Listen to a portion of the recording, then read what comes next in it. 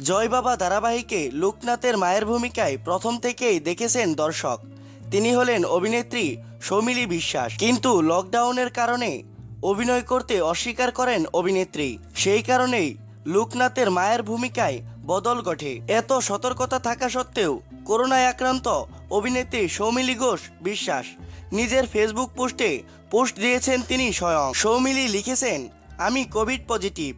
খুব কম উপসর্গ থাকার পরও নিজের টেস্ট করাই। টেস্ট রিপোর্ট পজিটিভ আসে। এরপর আমার স্বামীও রিপোর্ট করান। কিন্তু তার রিপোর্ট নেগেটিভ যারা আমার সঙ্গে বারো দিনের মধ্যে দেখা করছ, তারা নিজেদের টেস্ট করে নাও। কাউকে প্যানিক না করে সাবধানে থাকার অনুরোধ জানিয়েছেন অভিনেত্রী। আমাদের কাছে উৎসাহিত করতে আমাদের চ্যানেলটি সাবস্ক্রাইব করুন।